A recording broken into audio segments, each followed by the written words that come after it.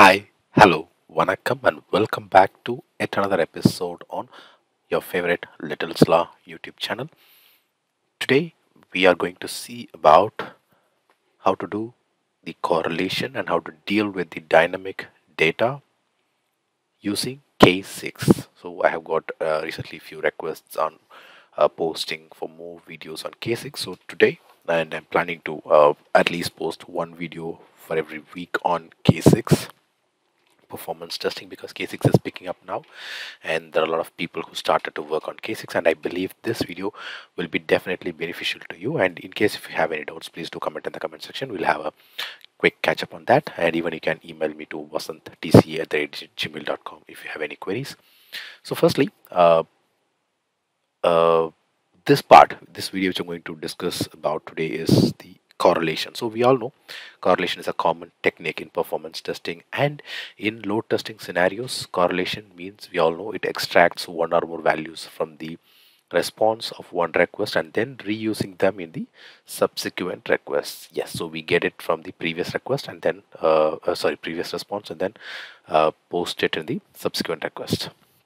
So this could be getting a token or a JSession ID or whatever or any sort of ID which is necessary to fulfill a sequence of steps in a user journey. And mostly these values the session id values will help you to keep the session alive or to pass some token. So most of those values are like will be inside the system and we want to pass it to the subsequent request to keep the session alive or to pass some data. So our video uh, in this session so we are going to capture sessions uh, such data. So it can be any data like capturing a CSRF tokens or view states etc and this type of data is unlikely to be valid when you run your test which means you will need to handle the extraction of this data from the HTML or from a form which will be included in the subsequent request. And this issue is fairly common with any website or any application that has forms and can be handled with a little bit of scripting. So that's what we're going to do now in this video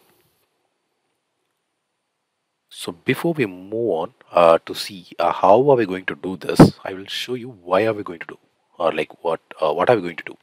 So we are going to check the validation. I'm going to validate few values from this response. So when I give this request here, I want to find whether I have this validations, this wake up to wonderful widgets and uh, all.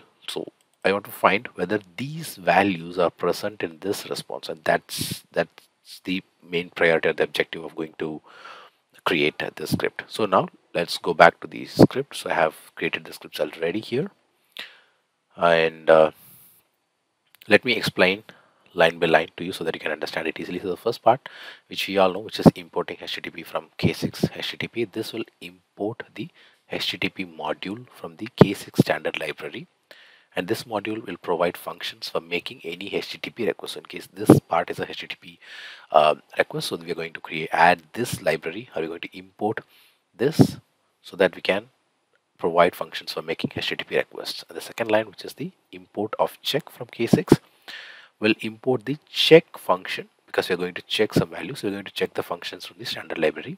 And this function is used to perform checks on the responses. Yes, so we're going to get response and in that response, we're going to perform the checks. And then we are adding another function which is export default function.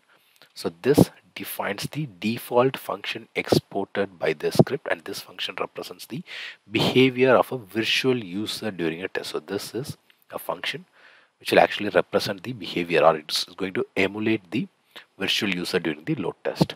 And then we're going to make a HTTP request. So I'm storing that in a variable which is res and as I've showed you um, previously this is the page which we're going to request. So this will send an HTTP get requests. So that's what we are mentioning here. So it's going to be HTTP and get request Uh, so this will send an http get request to the specified url so here is the url and we'll assign the response to the variable res as i have mentioned now. And then the next part which is constant slide one with res from that's the response dot json dot slideshow dot slides off. So this will parse the JSON response body using the dot JSON method and then extracts the first slide from the slideshow.slides array. So here if you see, we have the slideshow.slides array. Let me just keep it this side. And slide show.slides array. So this assumes that the response body is structured as JSON with a slideshow, obtaining con object containing a slides array. So if you see here, we have a slides, then we have array so this is the array 1 and then the array 2 so now when we move on to the check slide one so this will check the extracted slide object against certain criteria because it ensures that the title of the first slide so we're going to check the title. So here if you see we're going to check the title. So the s dot title should be if you see here the title of this value should be wake up to wonder widgets and that's what we have here. And then the s dot type. So if you see here we have the type. As all. So and that is in the title the slide one title. So we're going to validate this slide one title and then the slide type. So now we are going to uh, run this file. So this actually this script all these 13 13 or 14 lines. So this script essentially makes an http request to a specified url that's to the http bin.test k6.io to extract data from the JSON response, perform checks on the extracted data and reports if there are any failures in the checks, and it simulates the behavior of a virtual user interacting with the target system. So let's now run this and see how does it work. So since I have the script ready here, let me run it.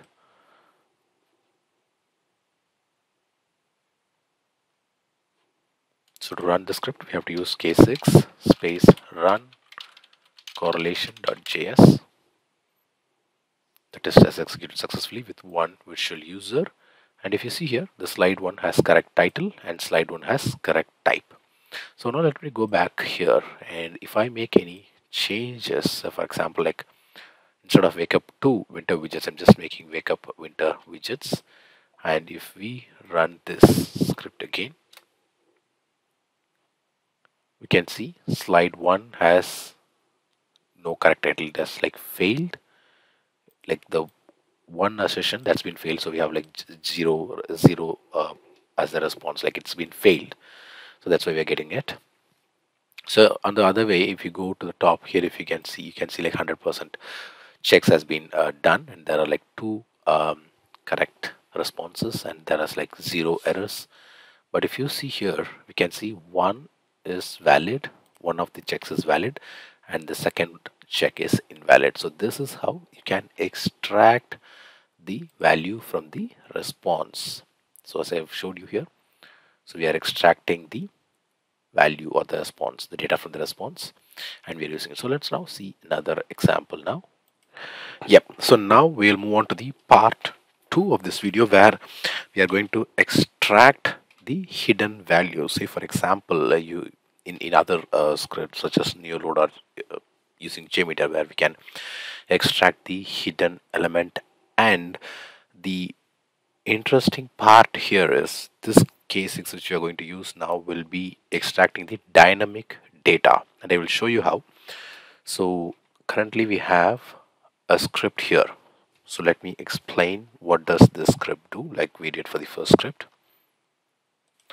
so um, as usual, we have the uh, HTTP import where this will import the HTTP module from K6 which provides functions for making HTTP requests. And then the second part is import sleep since we are adding a sleep command which is a kind of a think time or a delay which we use in other tools. And then we have the export function, the export default function so this function will define the default function exported by the script and this function represents a single virtual user's behavior during a load test. And moving on to the next part which is the HTTP request part. So we are making a HTTP GET request to the specified URL here and we are setting the response type to text. So if you remember we have previously a JSON request. We haven't mentioned the uh, response type but here we are mentioning the response type as text. The response is saved in the response the res variable. And then we have the constant element where we have the code of res.html which is the response.html.find so we are trying to find the hidden value which is the redir R-E-D-I-R value from the response. So this is actually hidden value, which is a kind of a, uh, a dynamic value which we normally get from the application. And then we have the get the value of the attribute value and we are saving it in the uh, VAL as the variable. And finally, we are printing the value so we can see what exactly have we extracted.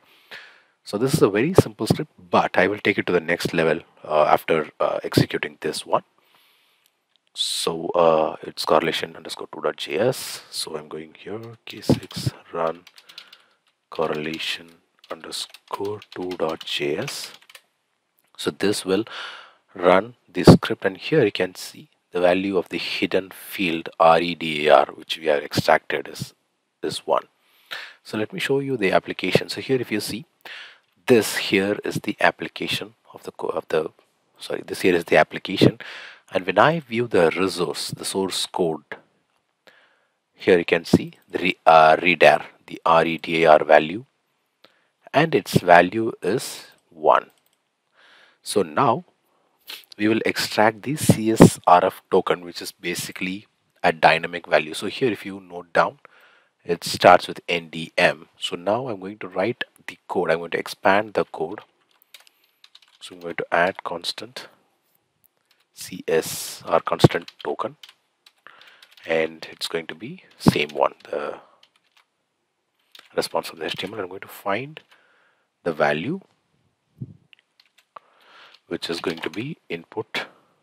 So let me just copy it from here so that I don't make any mistakes. And then I'll copy the name from here which is going to be CSRF token. So I have extracted the value and now moving on to the next line. So I'm going to create a value a token where I'm going to save the value dot attribute.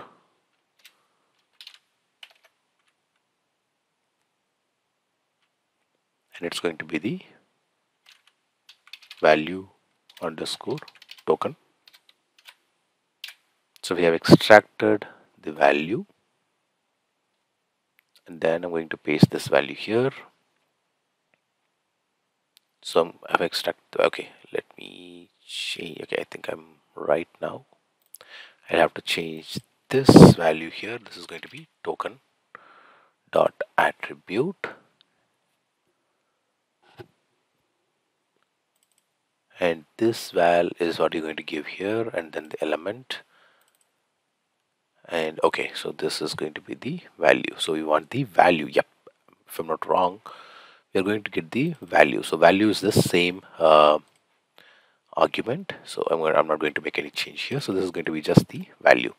And then the val token. So we have got extra the right value here. So let me just copy this one and I'll paste it here.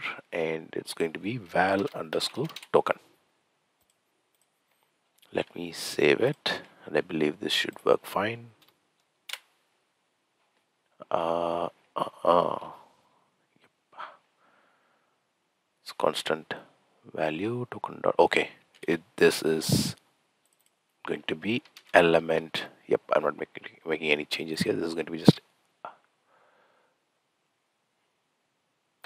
okay i have made a small mistake here. I haven't closed this value.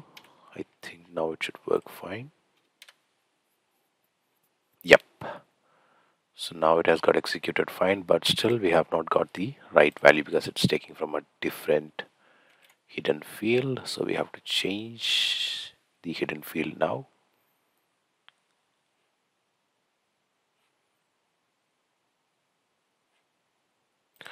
Yep, it's because we are referring this value, but it should be token dot attribute. And let me save it let's run it again yep so here we have got the values of these one. So the redirect value is one and then the, uh, the value for the CSRF token is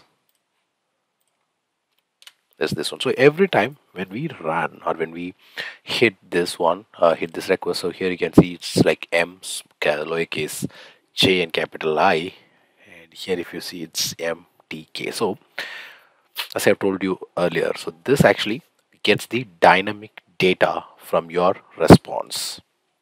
And then we can pass it on to the request. So we will use this effectively. So we will see how to use this value and we'll pass it to the next uh, request in our next video. So until then it's bye bye from Mr. Shanmugam and Little's Law